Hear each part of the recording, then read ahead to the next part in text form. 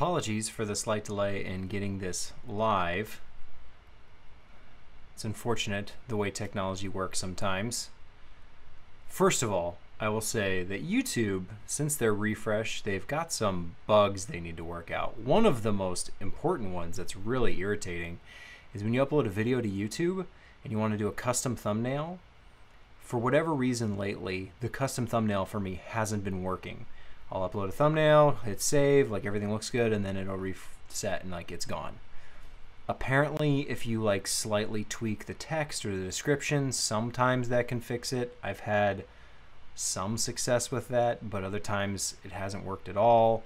I've had to just refresh the browser, and it's just like over and over, just trying to upload a thumbnail to a YouTube video. Really irritating. I don't know why this is a bug, but it exists. So if you're having that problem, you're trying to make a YouTube video and give it a custom thumbnail, as almost everyone does, just tweak some of the text to see if that like kind of wakes it up to hold the save. Other than that, as far as live streaming goes, for whatever reason, when I started this setup, it's the same setup I've been using, nothing has changed. YouTube thought there were two streams happening simultaneously and they were one was enabled for like auto start on a different stream. So when i started streaming from obs it like kicked that one off and it didn't go live on the one i wanted it to go live on. I don't know why it has to be so complicated sometimes. I understand this is good for some people but it's like you'd think it would just like how many people want to do this? And who why would i want it to just like auto start somewhere else Granted, it was just like two duplicates of the same stream key. Anyway, to fix the problem, I had to make a new stream key, set that all up, get that into OBS, and now we're live. Hopefully it looks good. Hopefully it sounds good. We're going to talk about cameras. A lot has been on my mind today. A lot has been on my mind today. I've been looking at as much as I can around the Canon R5, the R6, some of the other cameras that are coming, and really Canon. I just I don't I don't even know what to say at this point in regards to the overheating because it has become so polarized and people saying basically up front it's a photography camera get over it it's not a big deal so of course me being me i had to go make some funny videos just for the memes just for the the goofs so I made these two little silly little videos. And then I also did a heating test on my GH5. And I know that's not the same as the Canon R5 or the R6, but again, just kind of for the the experiment of it. Could I get it to overheat? Because I've never had the GH5 overheat on me ever. And now that this is such a controversy with the Canon R5 and maybe the R6, maybe not, they overheat in like their main premium modes, but there's other modes that are totally usable. There's a lot of charts online you can look up, but basically the way it breaks down is that the Canon R5, the features they advertised up front that were a huge part of the rumor and hype around the R5, those premium features caused the can- the camera to overheat. Now, is this a situation where uh, the camera is is physically warm on the outside? According to some people, no, it's not. This is all internal within the camera, and this is important because other cameras like the A7S Mark III, people are also talking about how that can overheat in certain modes as well. However, there is a distinction. The Canon R5 and the R6 both fall in the category of internal heat created by the unit itself. This is not a situation where the ambient temperature of the room, or whether you're outside or inside, or there's direct sun, or you're in complete shade, it doesn't seem to really matter. All that matters is the camera, the R5 and the R6, they are running, they are functional, and that in itself is causing them to warm up dangerously, apparently, according to the software in the camera saying this is getting too hot, we need to stop you from recording. Now, this is it can be exaggerated by additional high temperatures outside from direct sun, but it's not directly associated with that. So just having the camera in a hot place and then being like, oh, we'll take it to a cool place, that'll be fine, that's not the solution. There is no solution because the camera itself is warming it up. In my GH5 test, where I took it outside in the Phoenix summer, midday, full sun, I'm intentionally warming the camera up with sunlight. So in this video, I'm doing the best I can to make the camera really, really hot because I can't get the can uh, camera to do anything else like on its own. Like I can't um, have the GH5 overheat on its own. It needs the direct sunlight.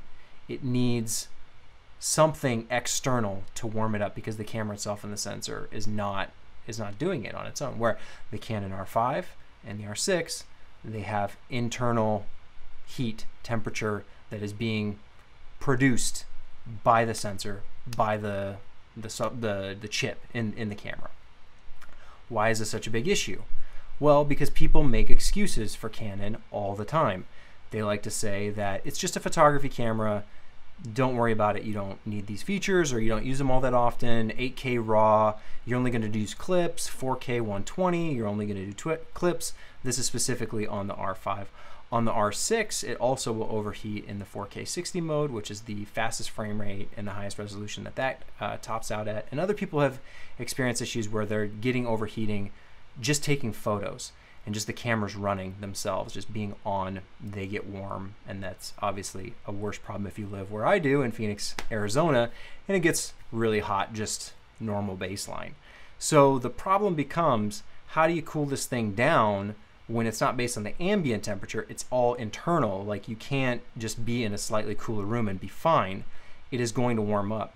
And this is where I'll give other cameras like the GH5 in my test or the A7S III, I'll give them a pass. If you're putting a camera in direct sunlight and you're causing it to overheat due to external factors, well, a software manufacturer, uh, camera manufacturer, they can't plan for exactly what scenario you're going to put it in. If you want to go to Mars or you're going to go to the surface of the sun, it's not the camera's fault that it's overheating. You're putting it through a stress test, which is what I did with the GH5.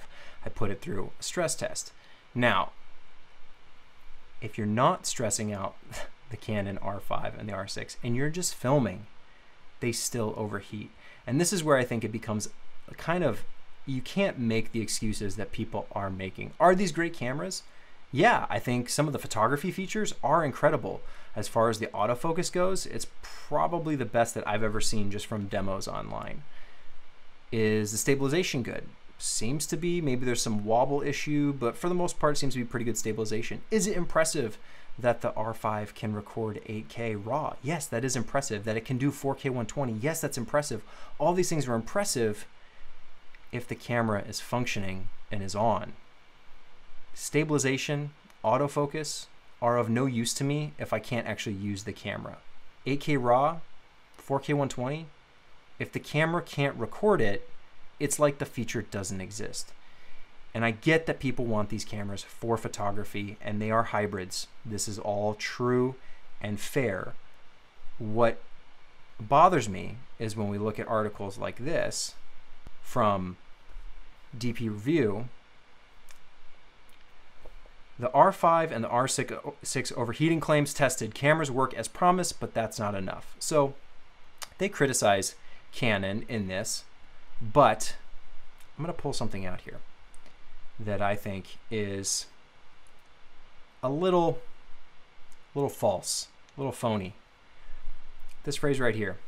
It should be noted that Canon did not design either the R5 or the R6 to be professional video tools, nor does it primarily market them as such.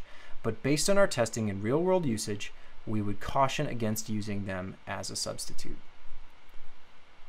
Canon, th- like this is this is objectively false. Canon, I don't know if they designed it to be a professional video tool, but they did primarily market them as such. When you look at the early rumors, the releases of what this camera could do, how it's talked about in the promotional materials on the landing pages for the, these products, they are talked about as their video their video features and the, and the functionality there. So to give the pass to Canon of like the excuse, oh well, they didn't market them that way. That, that's all. That's not true. They are actively doing it in their press releases, in their announcements, in their marketing materials. Video is at the forefront, and as it should be. This was supposed to be Canon's resurrection. Back, oh, remember the 5D Mark II? Remember, remember those glory days when when Canon kicked off the DSLR revolution? Remember that? The R5 was going to blow everything out of the water. 8K, 4K 120, plus the amazing photography features that are there. It was a no-brainer. I I said this in another video, but I was going to buy the camera. I was like, yes, this is like perfect. The Canon lenses, everything about it, like, yes, I want it.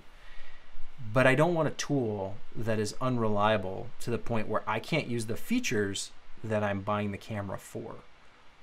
I have a GH5 that does 4K 60, and it's I have a GH4 that's done 4K 24 for what has it been six years now, something like that. I don't even know. The GH4 has been doing this for a long time. And granted, I know it's micro four third, but let's look at the Lumix S1H. That's a full frame camera. That does 4K 60 without overheating, without a crop, has stabilization. I know people like to rag on it for the autofocus, and it's nowhere near the Canon in terms of autofocus. By no means is the S1H as good at autofocus, but it doesn't overheat, and you can use it all the time however you want because it doesn't overheat because they put fans in it. The A7S III. Apparently, and granted, I you know I haven't tested these cameras myself, but apparently all the research I can find is that yes, it will overheat in certain environmental conditions if it's hot outside. I still think that's really frustrating, the fact that it, it does overheat sooner uh, than the Canon does in certain situations, as well as the S1H. I don't know if the A7S 3 is plagued by the same internal heating, though. It doesn't seem to be. It doesn't seem to be what people are talking about. But I think just across the board, this is a huge letdown for such amazingly powerful tools to be so just sidelined by by poor design. I don't, you know, like, is it on the end? Who do you blame, right? Who do you blame? If the camera literally can't do what you say it can do, then don't say that it can do it keep it the same way the Canon's always been. Keep it your 4K 30. You know, oh, maybe now you have 4K 60 for the first time. Oh, wow, great, great. Canon's finally entering the game. At least it works, you know. And now to look at it and say, like, the R6 is like, okay, well, the R6 is, you know, it's a little bit smaller, uh, less resolution on the sensor, so it's got less dis, uh, downscale. And yeah, you don't get 4K 120 or you don't get 8K, you get 4K 60. But that still overheats too and people want to say, oh, you need to buy a cinema camera if you want cameras that don't overheat. This is untrue. If you go and you look at the Lumix S1H, a full frame camera, mirrorless, doesn't overheat, $4,000. Basically the same price point. It exists, it's doable. There's also if you're curious. There's the Zcam E2 F6 and the Zcam E2 F6 also a full frame camera 6k $4,000 now you might say this isn't a photography camera it's not a hybrid. Fair enough okay. So is this what you're talking about when you need a professional cinema camera? Like this the same price point the same relative relative size. I know it's a little bit bigger, a little bit different form factor, but same price, roughly the same specs. This will do 6K 60, it'll do 4K 120, 10 bit 422, like it'll do what you're so excited, you know, like that the that the R5 like can do in bursts. And I've seen that, you know, mentioned is like, oh, if they'd only said that it can do it in bursts, that would have been better.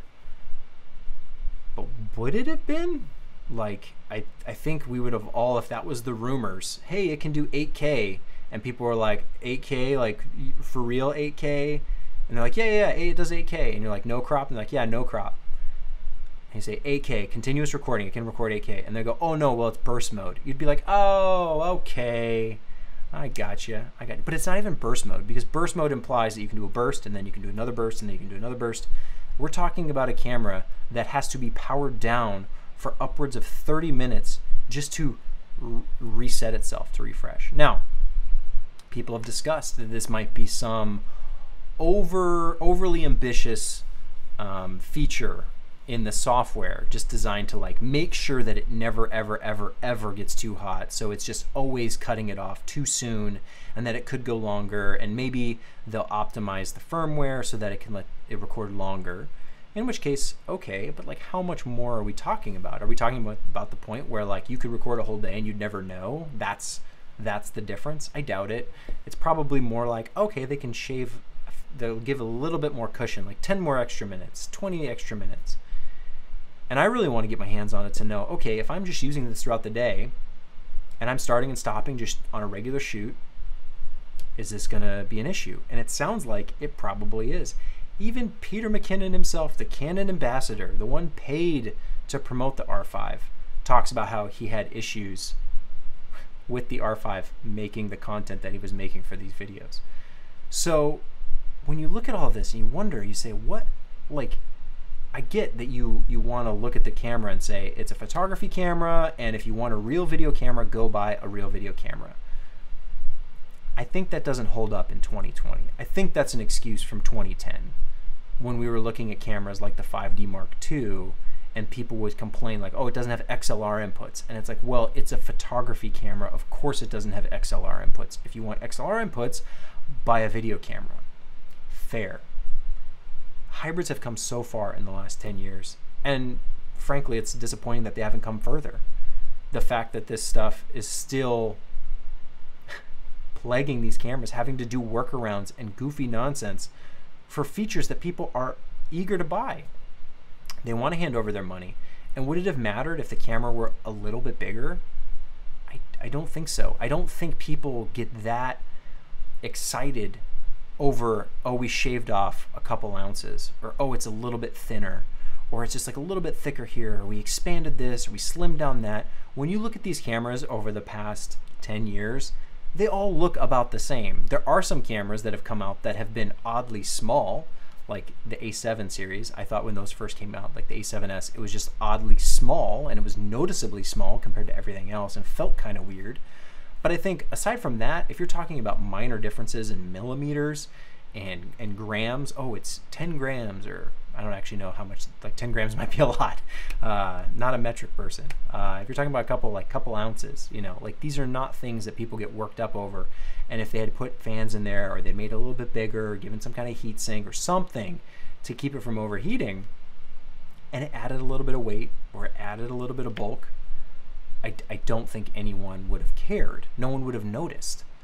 The fact that they say this thing overheats and they put it out there on announcement. So it was all the rumors, it was all the speculation, then it was, yes, this is true, this is coming, it really does 8K, it really does RAW, it really does 4K 120, all these features are amazing.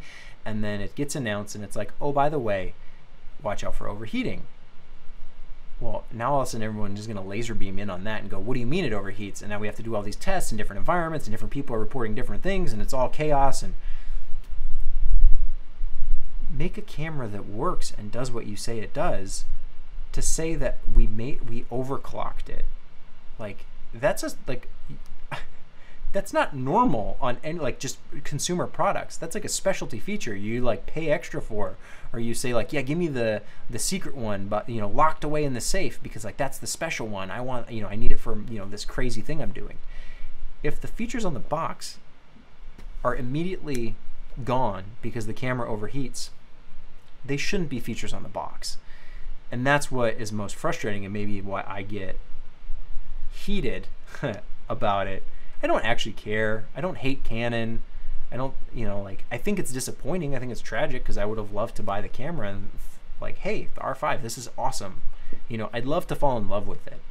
And the problem is, it's like I don't, I can't invest in a tool that is so unreliable. And I wouldn't recommend anyone else to do that either. Now, maybe there's a fix later, but I wouldn't count on it. I don't know that there's much they can do to fix it. It's just like Panasonic and their autofocus. A lot of people say, oh, well, maybe they'll fix it with the firmware update. It's like at the end of the day, the hardware is the hardware. There's some optimizations they might be able to make, a few extra codecs they might be able to throw in here or there, a few extra minutes they could save you in terms of heating and cooling. But this is probably inherent to the design at a hardware level. So don't hold your breath for this to just be like gone in a couple months when they just like figure it out. The S1H, they put fans in it because it got hot. I assume that's why they did it. So I don't know what to say other than there's no excuse.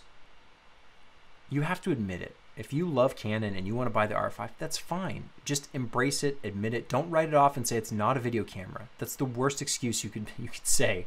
Especially this article saying that they didn't market it that way. It wasn't promoted that way. It absolutely was. And that's why people would want to buy this camera. Some people, not all, some people who just want to take photos can just take photos.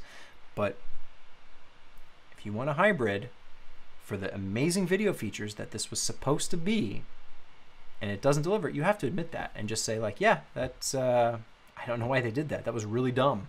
Because that's all all I can say is just like it's really dumb that they wouldn't optimize their camera for this. What would have added? An extra $500 maybe?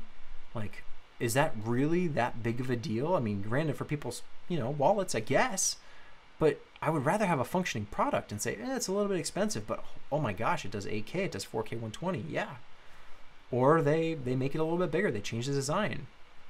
I wonder what the conversation was when they knew that this was how this camera functioned.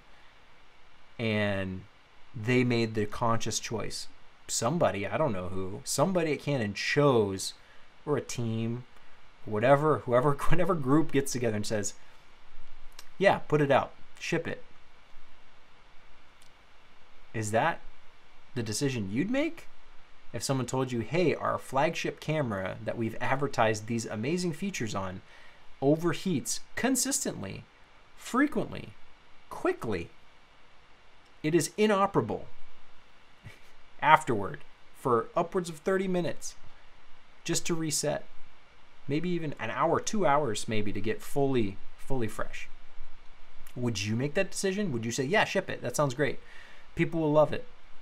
Or would you say, whoa, whoa, whoa, whoa, what do you mean it overheats? Well, can't we do something about that? What do you mean? Like, is this, it just overheats? Why would you accept that? Why would you ship that? Why would you put that out there and say, this is what Canon represents? A camera so full of features, so loaded to the gills, that half the time you can't even use those features. And if you want, you can shoot with like the bare minimum 4K mode and you can get by on that. But you already have that in the R. So what's the point of the R5 in adding all these extra insane video features for burst mode? I just don't accept these excuses. I don't think it's fair to say that it's a photo camera, and if you want something that doesn't overheat, go buy a cinema camera. There's plenty of examples of cameras that are equally priced that offer the same features that don't overheat. Is the autofocus incredible? Yeah. Do I wish I had that in a camera? Yeah. Do I wish that the R5 didn't overheat? Yeah. I wish it worked like they said it worked.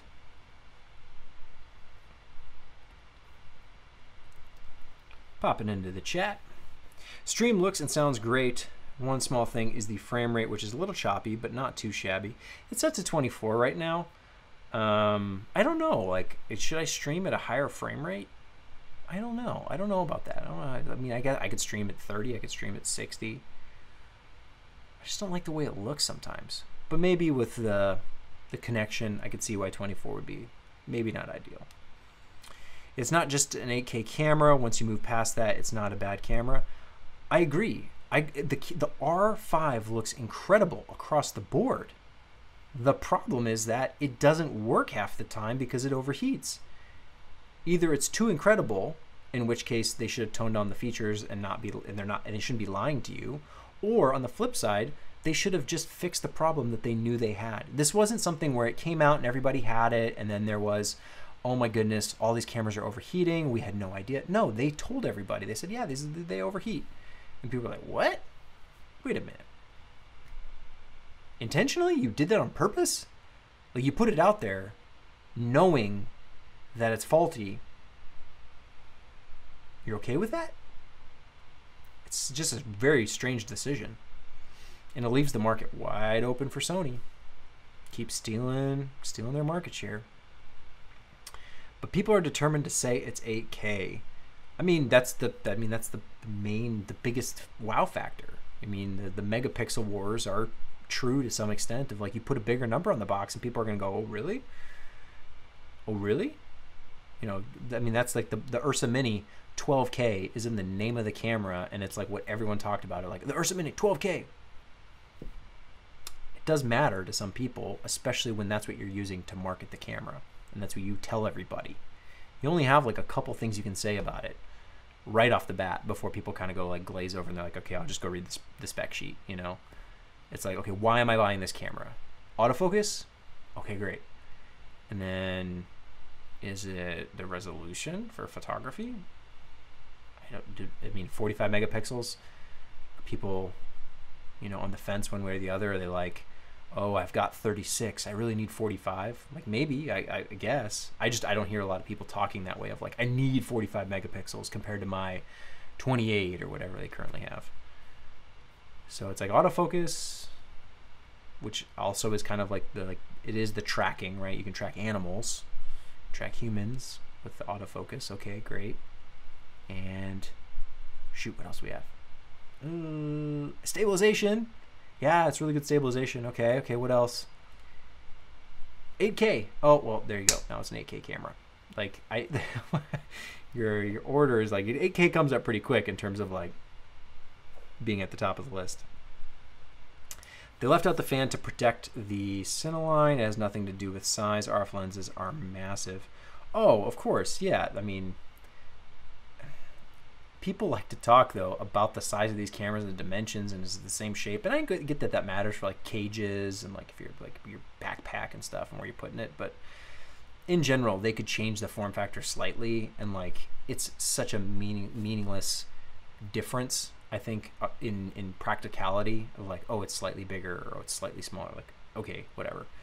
Um, leaving out the fans to protect the cinema line I don't know that I buy that. I feel like I think they just kind of botched it. I think to me, if you were going to protect the cinema line, I don't even think you'd say 8K. I don't think you'd say it shoots raw. I don't think you would intentionally cripple it by overheating. You'd put like record limits, or you wouldn't put um, certain like frame rate options in there of like you wouldn't do 120 maybe.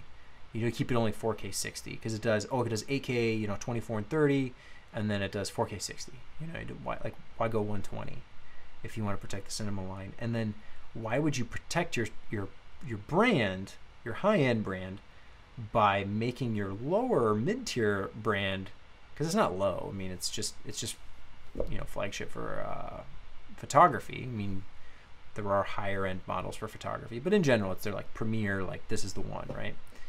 Why would you make it so? Like people are talking about that it overheats taking photos too. This isn't just an exclusively video thing.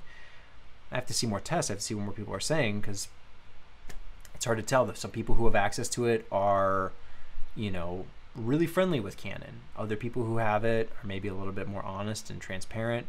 But there's not a lot of these out in the wild.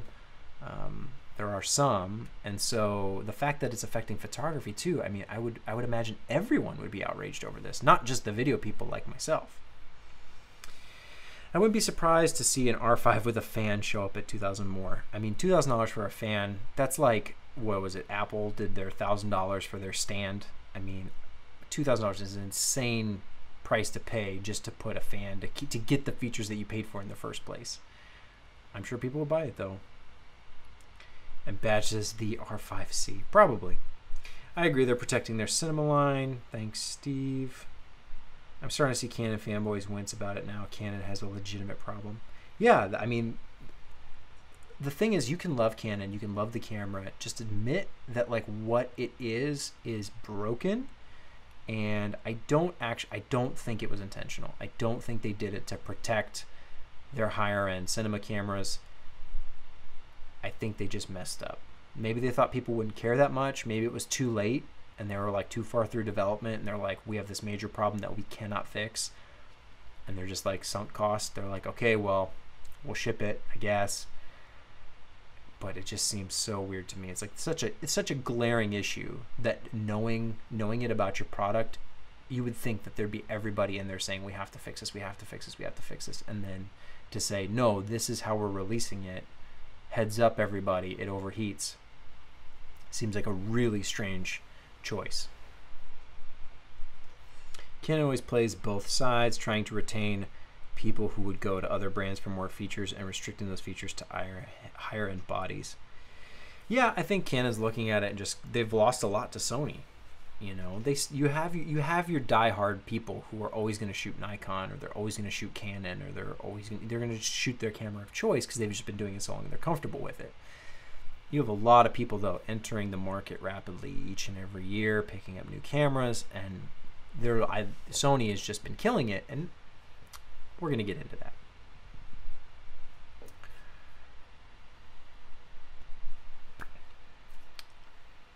Sony is doing a great job in the mirrorless hybrid game, making pretty compelling photography cameras and video cameras all in one. The new A7S III is, by most accounts, really impressive. Sure, it doesn't do 8K like the Canon R5, but it does do 4K 120, and it's exceptionally good in low light with good autofocus and maybe okay so-so stabilization, but maybe it's all right. You know, all around the A7S III looks really, really nice, but it may suffer from a similar overheating issue like the Canon R5 and R6. Oh no, well, thankfully, it's not that dire. The R5 and R6 are in an entirely different category in terms of overheating. They kind of, they really messed that one up. I think Sony is in a little different category where people are testing the A7S III and they're saying it overheats, it overheats. It's the same problem as the R5 and R6. It overheats, it overheats, it overheats. However, most people, a lot of people, aren't able to replicate this problem even in, you know, warm environments.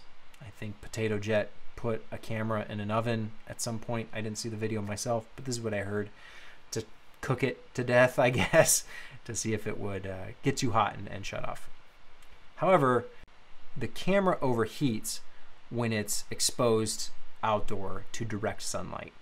So this happened with the GH5. I tested this in my own backyard. I did a video. It's on the channel. You can check it out if you want. Direct sun is going to warm the camera up beyond its normal operating uh, limit. Now, does the A7S III overheat faster than other cameras like the S1H that has a fan or like the GH5 that has a smaller sensor? Yes, it does. But this is a very controlled, I'll say controlled, situation where you could provide shade, something to help cool down the camera so it's not in that like direct sun warming up. I mean, you figure you put black plastic in the sun, it's going to get really hot. And same is true of the A7S III, and it just warms up too much. So different from the R5 in that the R5 and R6 are kind of producing their own heat internally just from the processor warming the thing up. Doesn't really matter if you're in a cold room or a warm room, it just overheats. The A7S III you can use by all accounts in normal operating conditions. It's just, hey, don't put it in direct sunlight for too long if it's a hot day in Phoenix where I am. And I wouldn't recommend that for any camera. It's just probably not good for any lot electronics to get too hot. Even your phone will probably overheat on a summer day in Phoenix if it's exposed to the sun because it's just going to suck up that radiant uh, energy.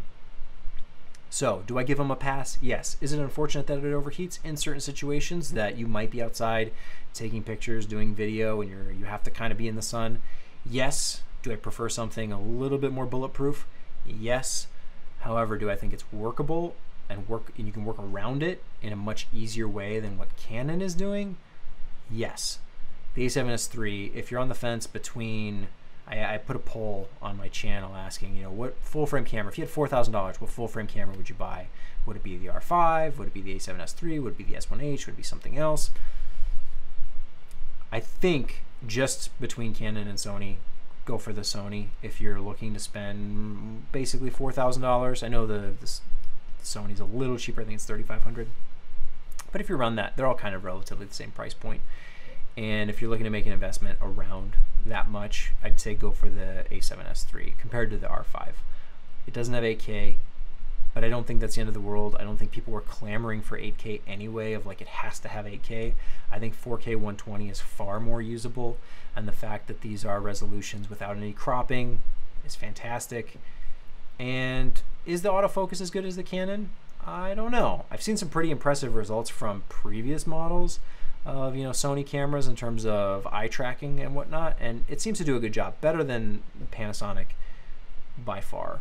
Um, same with Canon. So I think you're relatively safe if you want to pre-order the Sony. Now, would I pre-order the Sony?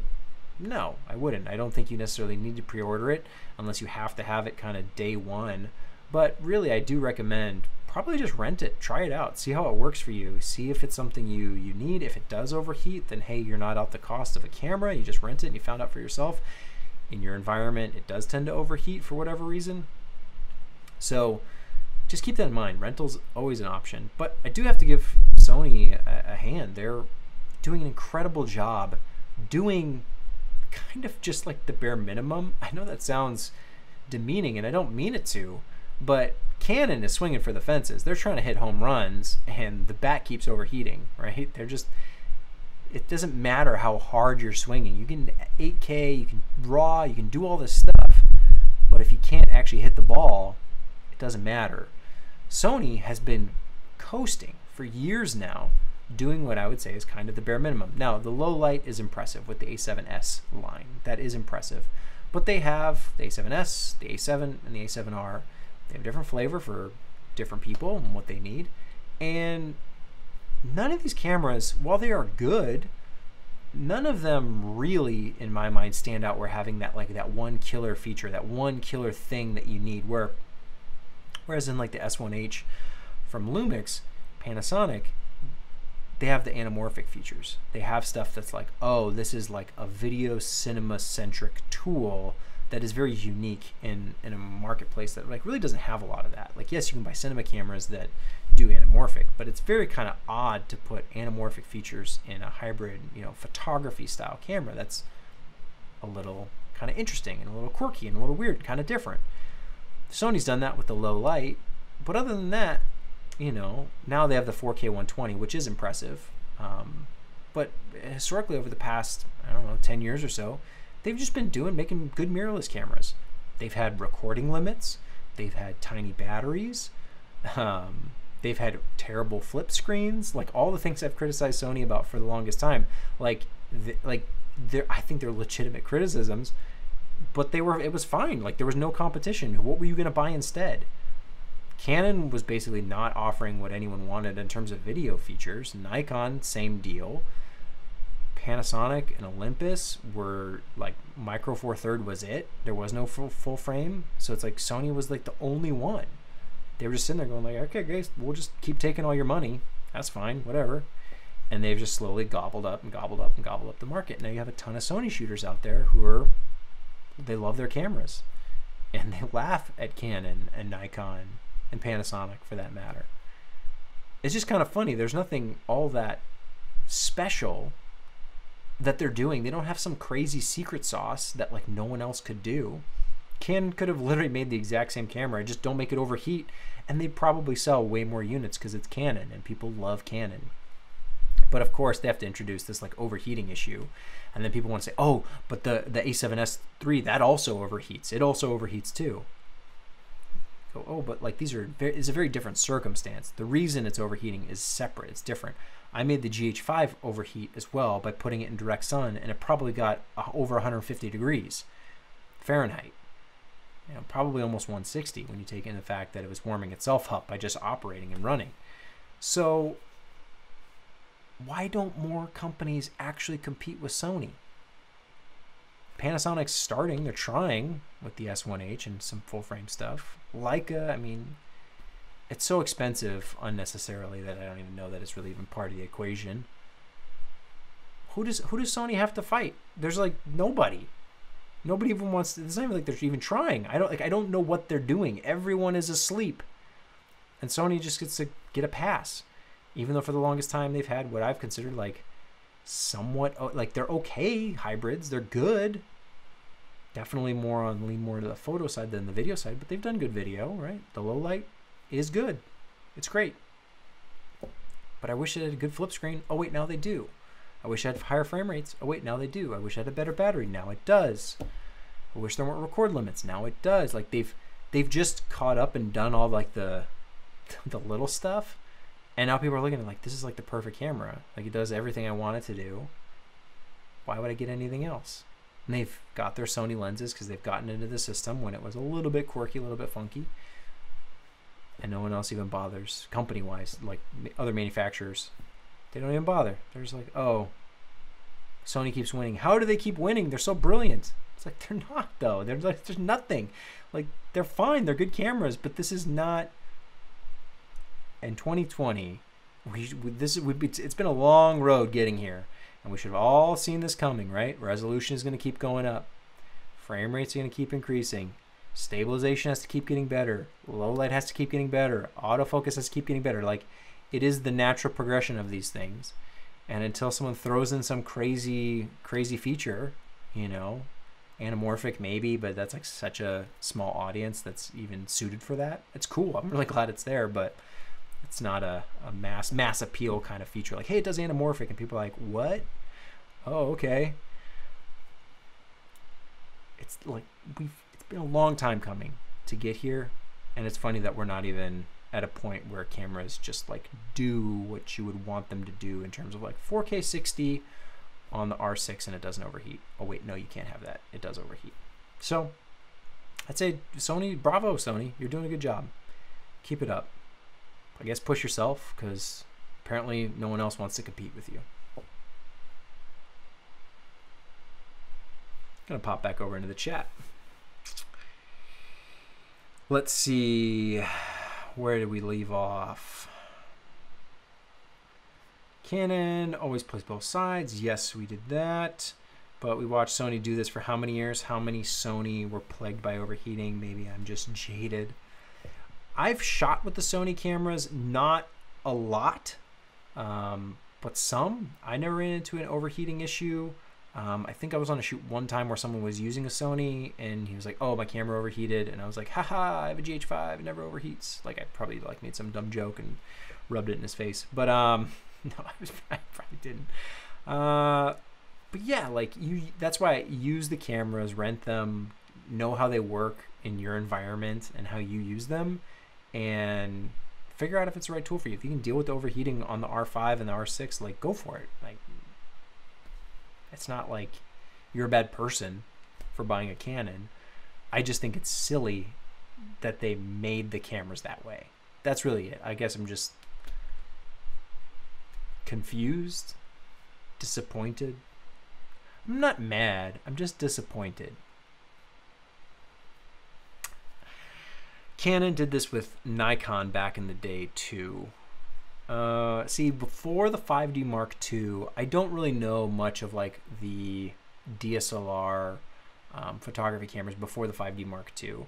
I've always been video centric my entire career. Like I know more about video cameras before the 5D Mark II. Like we talked about them other times: the XL1, the XL1S, the DVX100, the HVX200. Um, the kind that kind of camcorder, like where it shifted, where these camcorders start having having and like they weren't like your broadcast E and G shoulder cameras. They were more camcorder style, but they were definitely broadcast in nature. But then people were using them for cinema with things like the Letus and Red Rock adapters. They had a ground glass inside that would you basically put uh, an SLR lens on there and it project an image and you'd record that. If you don't know what I'm talking about, it's really interesting to look up. But yeah, basically back in the day on the HVX 200, there was the whole a- attachment you'd put on the front of the camcorder that was this big box that had to have its own power that would spin glass inside of it and uh, you'd, you'd capture an image from a photography lens and then you'd rec- you, that would be on the glass and then the camcorder would film that glass um, just to get like super 35 or actually i mean i don't know if that was technically full frame field of view i don't actually know off the top of my head but shallow depth of field was the reason to do it and then the 5d mark ii changed all that it was like oh my gosh i don't have to have this giant big behemoth camera i still have all that stuff it could be interesting to take it out one day but yeah it's a much better time. This is, what I mean, this is maybe that's why I'm so personally connected to hybrid mirrorless, you know, type cameras. Is like the convenience of having all this power right in your hand. The same way that photographers, like when you're a video person and you look at what photographers bring on shoots, and you're like, oh, that's it. You walked in here with a backpack, like. that's your job, like lucky you, right? So like video, it's like you have to have so much more stuff, seemingly. And historically, yeah, the cameras were just bigger. Everything was heavier. It was more of a nuisance. And then Canon with the 5D Mark II was like, oh wait, you can have both in one camera body, and it does everything you want. You're like, what? Okay, this changes things. Not just from shallow depth of field, but from actual ability to shoot. You hear people talk all the time about like you can shoot stuff that people don't even know you're shooting video. And not that that's like a good thing because you can be sneaky, but you can literally put yourself in places where like bigger cameras would not fit. Or you can work longer because the camera is much lighter and you can go a whole day holding it instead of getting exhausted and by the end of the day you have muscle fatigue and you're shaking because you've been holding this giant 50 pound camera all day. Like it changes the way you work. And so when people say oh hybrids that's just for photos i say you're nuts. Like it's so meaningful and so powerful to be able to shoot video on a hybrid especially a camera like the gh5 where it just does so much of what you would want to do and makes it easy battery lasts a long time the screen flips the right way and they were doing that way back like the gh cameras have been doing that since the very beginning. I have a gh1 you know flipped as a flip screen. It's awesome.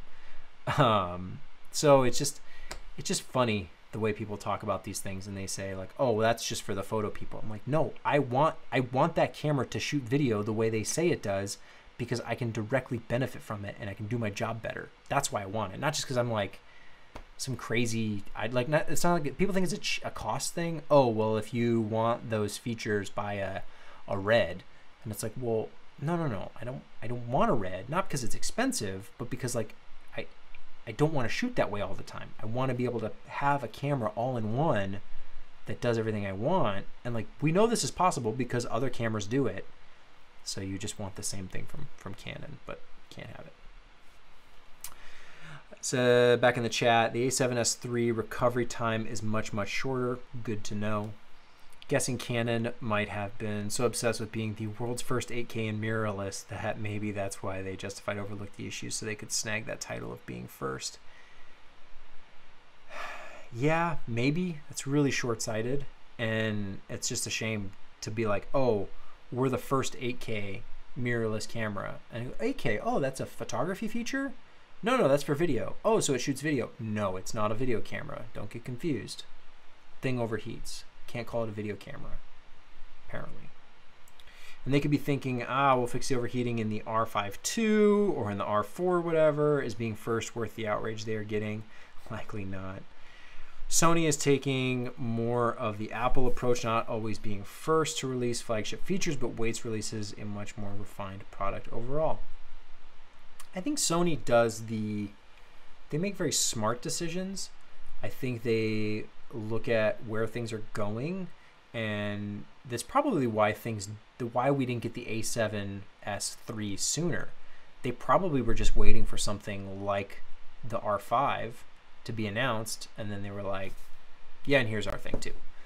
Like the A7S3 I don't know when it was done but they have to have been working on that camera for they already have what is it an A7 IV you know, they've had like the A7 uh, 3, they've had the A7R3, the A7 4, and they never even had an A7S 3. They've been, it's been the A7S 2 for the longest time. And so I think they've just been sitting on it. And they're like waiting for somebody to stand up. And Canon stands up and they say, We do 8K, and they get immediately hammered back down by their own doing because they decided to make a toaster instead of a camera back in the chat. The Canon and Nikon at least have better mounts than the APS-C Sony mount. The APS-C Sony mount, are you talking about the E mount? As far as I'm aware, that's a full frame mount, so I don't know what you're talking about there, Steve. Sony too have to protect their cinema line. Yes, but they, they seem to be doing it less. By all accounts, the A7S III, even though it has many similarities to the A7S II, is basically an entirely new camera. Seems Sony really reevaluated what putting out bodies every six months was doing. Probably, but probably not. They'll probably keep doing that with some of their uh, lesser cameras. They love having like Gen 4, 5, 6. I think the was it the RX 100 is on 6 or 7 Like they just keep cranking out ver- like it's the you know the the cell phone smartphone model. Just keep making more of the same thing. I do appreciate that the A7S III is significantly different from the A7S II. Um, the flip screen alone was like is like that's such a big feature for me of just having a screen that works all directions that you would want it to work in. Back in the chat, I think Sony has learned the hard way maturity in the mirrorless. They just started doing it before everybody else. Full frame mirrorless. They were the only ones. Can't say they were like the only, but I'm pretty sure they were only because like they've been mirrorless for the longest for full frame out of Canon, Nikon, Sony, and Panasonic at least. They saw the future was mirrorless, and people for the longest time, Canon and Nikon, oh, you need you need a mirror box, you need a mirror box. Oh no no no no mirrorless. Well, the EF mount's not going away. No no no. The the mirror, you need the mirror. Sony was like, no, you don't. And people are like, the technology, the, I have to look at a TV, I have to look at a little screen in my viewfinder. That's not the same thing. And they're like, yeah, well, we'll get there one day. Like the technology will get better, so like it'll catch up. It'll be fine. And now, like no one even seems to care. Now that everyone's everyone's gone mirrorless, it's like, oh yay, the future is here. And I'm sure all the Sony people are like, yeah, we've been here. Welcome, welcome to the party. So Sony has the advantage of they've been doing it longer, so they have the technology. They've embraced video, not to the same extent that Panasonic has, but they've embraced it significantly. Uh, especially with the A7S and just going for low light and making a hybrid camera with a low megapixel count, you know, that's kind of kind of actually really interesting compared to everybody else who's intentionally limiting their megapixels for the sake of having good clean video.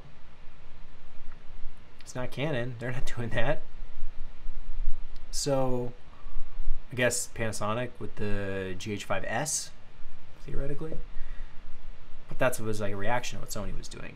Because Sony was just dominant. Oh, we, we can shoot in the dark. I don't think it's like, I've talked about this before. It's not the end all be all feature of like, you don't need lights. Lights are important, but it is a nice feature to have. So they, they got into it early. They saw the future. They've been building a lens system around a mount that does what people want it to do and they're just delivering it. They're saying yes here's this is what you want. Here you go. Would you like to buy it? And people go yeah i want to buy it because that's what i want. It, it, again it's not rocket science. They're not doing anything super special or super secret or like oh why, why do people keep buying sonys? They're just making good cameras. I don't know. If everybody made good cameras they'd probably all sell a little bit of all of them and we'd argue over like the minutia of it not like oh the camera overheats. Like it would be like oh well we would talk about more like the codecs right? And we would get down to stuff about like well those files don't edit as nicely and as efficiently you know? Like oh they're a little slower to edit those files so i like these ones because i can just shoot right off the card. And, oh okay great great great. You know we could talk about workflow and optimizing stuff but right now we're talking about cameras not even working. As intended back in the chat. Uh, the E mount came from APS-C. The full frame sensor barely fits. I'm referring to the Z mount and RF mounts. They can simply make wider, faster glass. That is an interesting point. So, I yes, the E mount was initially designed for APS-C. Um, as far as how that affects the lenses, I don't know, but I'll take your word for it that yes, I'm sure um, the size of the mount matters that's why I kind of like what the direction Panasonic is going and finally adopting full frame with the L mount. Um, and Sigma makes some great lenses, and they've also got an L mount camera, the FP, which I don't know enough about. Um, I think it's kind of like cool and kind of interesting that Sigma made a camera, but aside from that, I don't think it uh, catches my eye really as far as like I want it or you know like it's got something that I don't already have or maybe we'll wait for like a Gen 2 or 3 or just see where it goes. But I think it's interesting that they're doing it. So I like uh, the fact that like we have more proper full frame mirrorless options to choose from. I'm guessing Sony will release a new mount in the next couple of years, at least just to sell new lenses. They very well might. And I'm sure people would be really upset. And that is the problem with these systems is that once you buy into the system, you feel like you're kind of stuck I think that's why micro four thirds has stuck around for so long is because there's so many people with these lenses of like, oh, micro four thirds, this is like the perfect, like whatever it was like, you know, theorized as, like the perfect combination of like size and performance and portability and all price. But like, it doesn't really matter because it's still a big bulky camera with a big old lens on it. It's smaller lens. It's, it's it does way less. They are cheaper in some situations, but other times they're not not significantly so. So, like, but Micro Four Thirds still around because people people bought it, it, like, and you can't just like get rid of it and make a lot of people mad. But that's what happened to Four Thirds, because like Micro Four Thirds came after Four Thirds, and I don't know enough about Four Thirds, but I've definitely had some fans. Back in the chat. Sony are a generation 5 of mirrorless. They've made a fair share of mistakes leading up to the A7S3. The funny thing is, people were laughing a bit at the A7S3 being 4K until the R5 overheating. I didn't see a lot of people mocking the, the A7S3 for being just 4K. I think I saw probably a lot more people mocking the R5 for even going to 8K. Like people saying, like, scratching their heads, like, why? Definitely get the benefit of 6K as like a if you're finalizing in 4K now you have 6K so you can kind of downsample and 8K I guess theoretically makes sense to some people. It's not like what I would personally like want or need. It would be cool, yeah, but like it's not the feature that I'm like dying to have. Uh, more more so 4K 120 for me personally uh, would be a valuable thing to have, and then you know 1080 at like 240 or 300 like higher end uh, frame rate stuff for 1080 would be fantastic back in the chat. Canon is also helping Sony look really, really smart. Yes, they are. So, last thing I want to talk about tonight is the S1H and just Panasonic in general.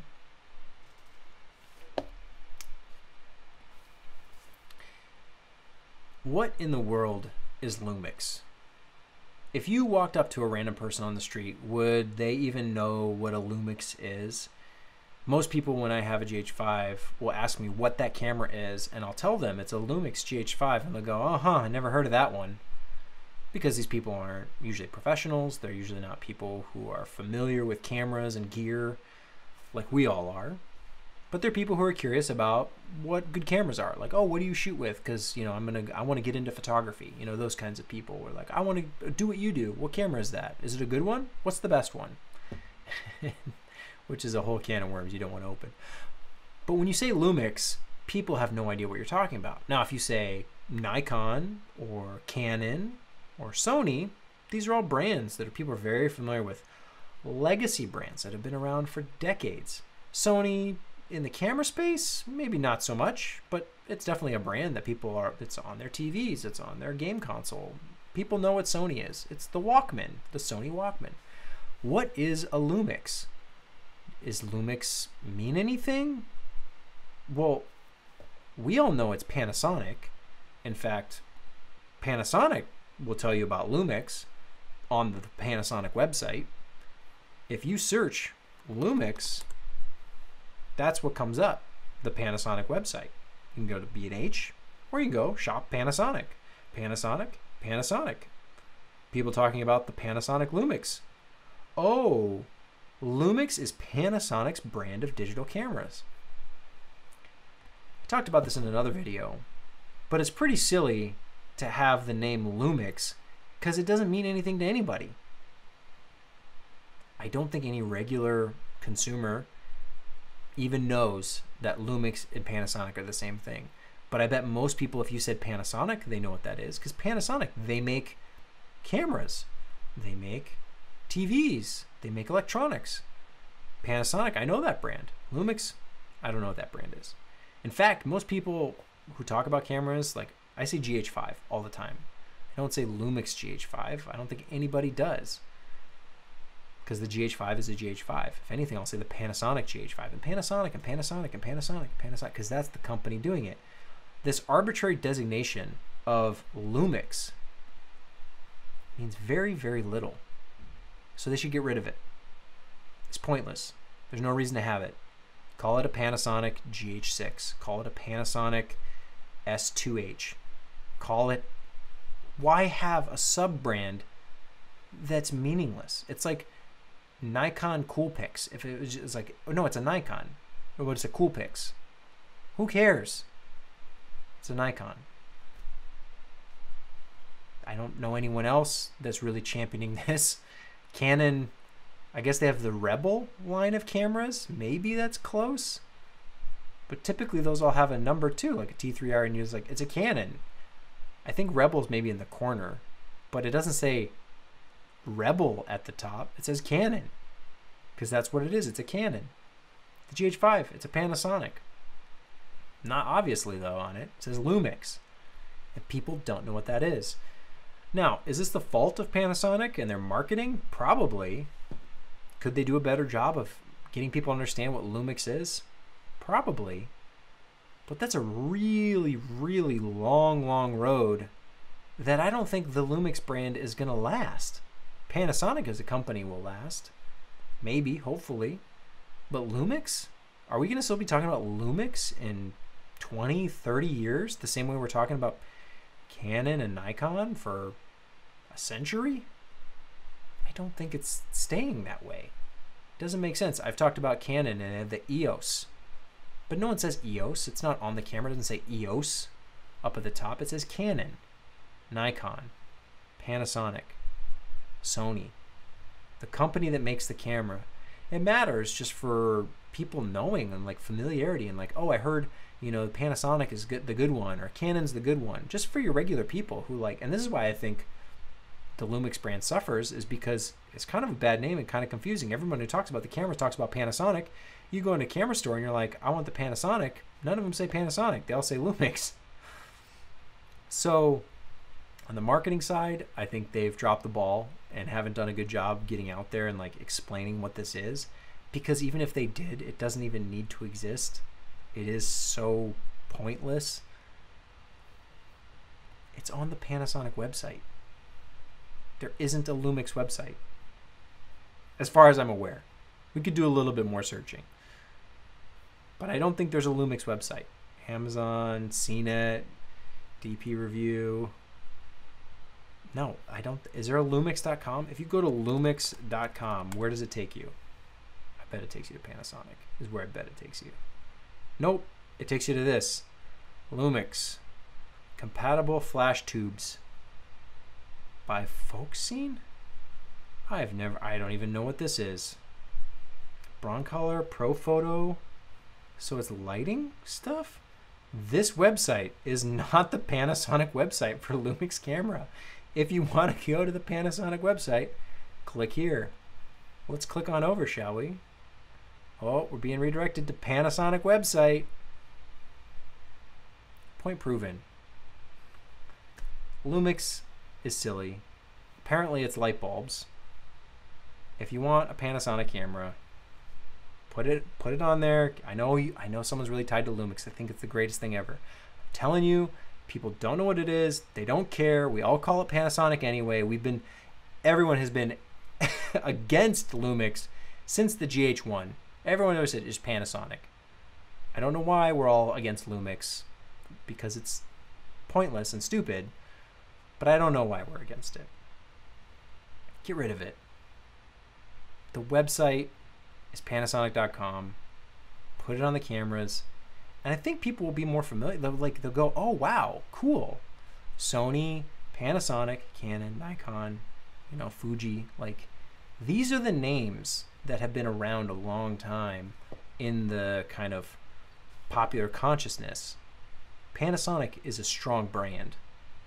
Lumix has been around for a long time and still nobody knows what it is. But if you say I shoot with a Canon or a Nikon, people instantly know, okay, I know what that is. Even Sony now, they've done a great job. Panasonic could do a lot better. Pop back in the chat. I've owned a lot of cameras, and the S1H is the camera that overall I've been happiest with. It's just rock solid. It's not flashy, not particularly pretty, pretty bricky, but it's a workhorse. That's what I'm most excited about the S1H for. Is I love that Panasonic. Should I call it Lumix? I don't know. I don't know what's fair. like I'm gonna call it Panasonic because that's what it is. It's Panasonic. It's Panasonic S1H. I like the Panasonic mentality of like giving you features that work and giving you as many features as they can put in it. Seemingly, the only thing that seemingly was kind of a, a slight from their more premium cinema line was the Vlog L compared to Vlog. You know, that discrepancy of Vlog L was kind of this weird squished cutoff version with only 12 stops, but real Vlog was 14 and and that kind of whole thing. But it seems like they've done a really good job with the GH cameras, keeping things pretty pretty on point with like giving you the right codecs that you would want, the resolutions, the frame rates. And the same thing with the S1H, a camera that just works, but now it's full frame. And I, for the longest time, even from the GH4, you know, for the GH5, I was talking about like, let's get a bigger sensor, let's upgrade, let's go, let's move forward, let's look like Sony and look like we're headed in the future direction with these cameras. Because I've I've loved the GH camera since the GH1, and I'm happy to shoot with anything, but I'm glad that Panasonic has adopted a full frame mindset uh, for mirrorless. Maybe it's a little bit too late. I don't know. I don't think so, considering the way the S1H, just like the features, like it's it's probably the most attractive camera to me at this point in that kind of like full frame hybrid uh, game. Although the A7S III does look really really nice, so I want to get my hands on both of them test them out, see which one works better. But that's my feeling is that the S1H is just like this workhorse, just the same way the GH5 is. Like the GH5, so I have a GH5 that I shoot with all the time, a few of them, and then the Ursa Mini Pro, the Blackmagic Ursa Mini Pro. Ursa Mini Pro is a much better camera. Built-in NDs, more dynamic range, shoots ProRes, like everything about the camera is a better camera. It's a more expensive camera. Do I find myself shooting with the GH5 more or the Ursa Mini Pro more? Well, tend to prefer shooting with the GH5. It's lighter, easier to hold, maneuver, like take with you anywhere. Does great photos for like what they are. And in general, it's just this all around like really good camera that does everything I need in, you know, the palm of my hand. Do we get better features with the Ursa Mini Pro? Yeah. But is it as fun to use like just daily? No, because it's much more of like a tool rather than something that I would say the GH5 is like that tool, but it's also kind of a toy in some ways if it's just fun to use. And that's why I'm excited for an S1H potentially in the future to have that same joy of using the camera just because it's so easy that, but it's full frame. Like, I'm excited for it. They should ditch the Lumix name and just go with Panasonic. Absolutely. I've never once referred to my Panasonics as a Lumix. Me, me neither. I mean, I, I will occasionally, but not really. It's got a middle name. That's right. And I learned about Lumix before Panasonic because I came to Panasonic from Sony. Interesting. Did Lumix really stick with you when you when you heard Lumix? Were you like, I gotta have a Lumix? I don't know. It just seems it seems like kind of a silly, cheap name to me. I don't know. Nothing about it screams premium, professional. Like the features of the camera deserve a better name. Like Panasonic sounds like a legitimate broadcast company because that's what it is. Lumix sounds like your consumer toys, which I said they are. Toys are fun to use, but like there's some really good features in these cameras. I don't think you should discredit them with a kind of cheap sounding name. I forgot about it in casual Spanish. Lumi is a lady from the street. Ah but I already got a Lumix tattoo. Oh no. Can't easily change that to Panasonic.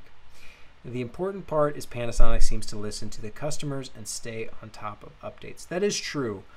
I'm trying to think, maybe someone could educate me because I don't stay on top of every firmware update from every company. But in general, Panasonic does significant firmware updates. Features like 6K, uh, recently, now they've uh, implemented the ProRes RAW. Who else was doing something? Was it Fuji doing something recently with their firmware where they were kind of like adding some really nice features or stuff that was really helpful? Um, it seems to be less so the case with Sony and Canon. I don't know why that is. I mean, I have a suspicion of why that is. I think it's just where they're at in the market. I don't know that it's from the generosity or goodwill of any of these companies. I think it's just like they want to attract customers. They do what customers want. And if they have enough customers or they're doing fine, they don't have to work a whole lot to get customers, then they don't have to do a whole lot either in terms of firmware. But I really appreciate the stuff that's come from Panasonic in terms of maintaining their cameras, keeping them relevant and not cannibalizing their own market, but offering things like the G9, which I've never shot with, but I know it's kind of like a smaller, a slightly less version than the GH5. So there's the GH5, then there's a G9, which the naming is the other thing that Panasonic should redo. When they get rid of Lumix, figure out what generation you're on. This is all camera companies. I've talked about this before, but like give them names, give them a purpose, give them like a year they came out or something so we can keep track of like why would I ever associate a GH5 and a G9? Those don't seemingly go together any meaningful way. Is one a G5 and the other's a GH5? Okay, now that makes sense. But just to have them be these kind of like weird SKU numbers and letters it's really hard to keep track of. And and you're talking about somebody who like pays attention to this stuff. Your regular person, they're gonna go, "What's Lumix? What's which one do I get?" Or you say, "Well, you know, the GH5 does this, but then the G9 does this," and they're gonna go, "What? I don't know what you're talking about. I'll just get the Canon. I heard the Canon's good. That's then we'll go buy a Canon." So, I don't know. We'll see excited to test the S1H out. I gotta get that one as a rental, and then the A7S3 also on my list. The only thing that like really lets me down, I could deal with the R5 overheating and not really care all that much if the R6 were safe. If the R6 it is a really nice looking camera in terms of features. It, it tops out at 4K 60, okay, but everything else I really, I really, and it's affordable. It's the most affordable of all of them. But that one apparently overheats too. So I don't know. Don't know what they were thinking. It's just a shame that in 2020 we have to talk about cameras overheating because of bad design is really all I can chalk it up to. Poorly designed. Someone said it has to do 8K and it's got to do all this stuff and then they said, okay, we'll put a processor in there that'll turn to lava, apparently. I don't know. I don't know what they were thinking. I'm glad that Sony exists. I'm glad they're still doing doing a great job putting out good cameras. The A7S3 looks great. The S1H viable contender, I would say for for my purposes, it's almost like I don't know. Don't know. The other one that's intriguing is that Z-Cam E2, the Zcam E2 F6.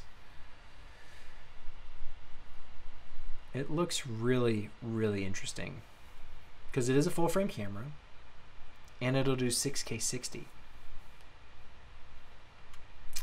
and 4K 120. 10 bit color, full frame, 15 slots dynamic range, raw, EF mount, so not the mirrorless mount, but you they say you have optional M micro four third and PL mount. So I don't know how that works. If you do a micro four third mount, if it's like a crop of the full frame sensor, that'd be a little odd. But this thing looks really cool. Four thousand dollars. You have to do an external monitor and a few other things uh, to make it kind of functional and usable. So it's not the cheapest. It is the most expensive, but I like what they're doing. Looks interesting. Not quite the uh, hybrid that uh, the S1H is, but really neat feature set if you've never looked at it. They have a few others. There's an F8 that's 8K, and then some other ones. But I really think I've, I've kind of looked at them for price and, and what you would want. I think the E2 F6 is probably the one, but I really like that idea of just like flip screen, everything all in one, so that no matter where you take it, you always have the right pieces. I hate the idea of like having to have all these accessories to make the camera work for like how you actually operate it. Yes, will the Z-Cam technically work right out of the box? Yes, but like you, you need a monitor for it. So then it's another thing to bring. It's another thing to to worry about when and I can't imagine. I don't know what the the photos are like on the uh, the Z-Cam here. probably takes good photos if it's got a full frame sensor, but it's definitely not a photography camera. So maybe I'll test it out someday if I can get my hands on one. But for now, I'll just keep looking forward to, I don't know, maybe something cool and fun on the horizon. Right now, the Canon's really put a bad taste in my mouth of just like, man, I really, I really wanted the R5 and the R6 to be good cameras. I wanted Canon to come back, and they just dropped the ball. Oh well. Come to expect it at this point, I suppose. Let's see, I'll wrap things up here in the chat. I bet that font size was part of the logic for making a sub-brand. Panasonic is a long word to cram on the top of a little mirrorless body. Then call it like a panty or something. No, I don't call it a panty. people, uh, people do refer to it as like, oh, the panty, the panty. But uh, you're probably right. It probably was a marketing thing. Panasonic, where it's too long. It fits on our TVs, but not on our cameras. Zcam, talk about a naming strategy issue. Yes, the Zcam E2 F6, awful naming strategy. But you seem to be very interested in Zcam. Are you thinking of moving to it? It's a great system. I am interested in it. I it's that one thing of like I want. Here's what I do like. I like that it takes the. Is it the Sony? What are they called? The um, which batteries are they? The N, are they the PN, the NP? Where's the battery? Battery, battery. The NPF, the Sony NPF series compatible. Um, oh, you don't get a battery with it? Oh, that's lame. But they're really cheap. Um, and they come in all shapes and sizes, so you can get big ones, smaller ones. Uh, I like that camcorder style battery uh, for a video camera. I think it makes sense to be able to slap a big old battery on the back of it um, if you need to. But um, I would definitely want to test the Zcam out first, see how it works, see how it feels. Let me actually see over on Lens Rentals if they uh, if they do they do Zcam. Kind of maybe they do, maybe they don't. Hey, here we go. Uh, so there's yeah, there's the Zcam E2S6, which is the Super 35 one. The F6 is the full frame one. So we've got that right here. Uh, it's not available right now. Is it because maybe someone else has it? Um, there's the yeah, it's available. So I would definitely test this out, but then I wonder how do they rent this to you? You probably need all sort recommended. Yeah, you're probably gonna need a LCD and whatnot to to make it function the way you want, which would be nice if they had a little kit. But I don't see one. Look, you can get an Atomos Ninja 5, which I imagine is what most people are probably using. Pop that over into the chat. Think Zcam might have the smartest tooling out of all the up and comers. The smartest tooling. Fuji X-T4. Fuji, they do interesting stuff, but it's not interesting to me. Um, maybe I'll look at the X-T4, but they usually seem like they're kind of off doing their own thing, and maybe that's good, maybe it's bad. Same chassis, same layout. They're swapping out processors and firmware. Oh, I assume that's in regards to the, the Zcam. They're just swapping out processors and firmware. Uh, sure, sure, probably, maybe. I don't know. I feel like I would miss uh, B-RAW too much. It really depends on how easy it is to work with their RAW files. Yes, and oftentimes I'm not even necessarily uh, worried about RAW all that much because a lot of projects doesn't make sense for the file sizes um, for the stuff I do. That's um, usually there's a lot of footage involved. So depending on what the final delivery is and what the project is, RAW doesn't always make sense just from file sizes. So you have to play around and see how all the codecs work for me. I don't get why you haven't got a Fuji yesterday. All right, I'll check out the Fuji. All right. NPF batteries, yes, those are the the not like everyone knows the the you know DSLR hybrid mirrorless batteries, but I just don't like that they're always like the one size, and they can't ever be bigger. It's like if you want more battery life, have the ability to put a bigger battery on there, which is really smart. I'm glad they did that with the uh, Zcam compared to Blackmagic, where they were for their pocket cinema camera. They implemented the LPE6 batteries from Canon, which in the pocket cinema camera, you know, they choose through them pretty quick. I will say Zcam have done an outstanding job with their color science. It's beautiful. Before I bought my S1H, I looked at them for weeks, but in the end, I still need to shoot photos. And that's kind of where I feel like I'm at. I like the look of the Zcam, but do I want a camera that can just take photos too? Yeah, I do. Otherwise, it would have been my choice if it could do better photos. Uh, the 6K with the Super 35 sensor on the Micro Four Third mount looks very intriguing.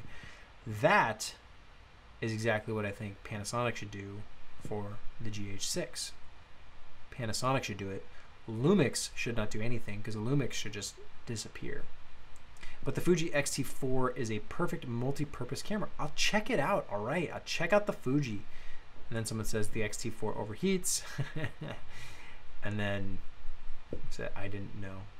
That's bad. Oh, the X-T4 over. So you're telling me to look at a camera that you haven't even used? You you act like you love it, and you don't even own it. I don't know what to tell you.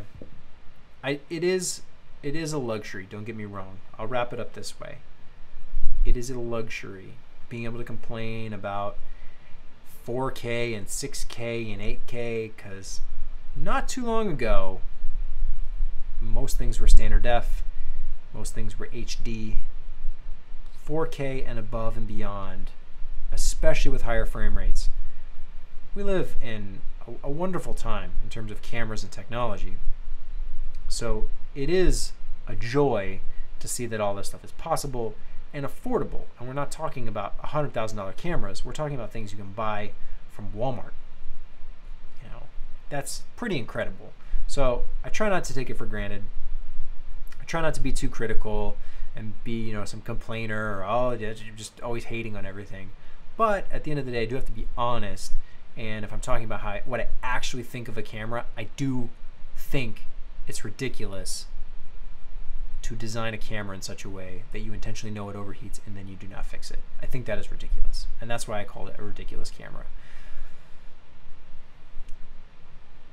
I think that's it. I think that's all I have to say. If I say any more, I'll just be repeating myself. Thank you, everyone. I appreciate all the chat. It gives me interesting things to talk about, as well as just talking about cameras. It's so much fun. So, talk later.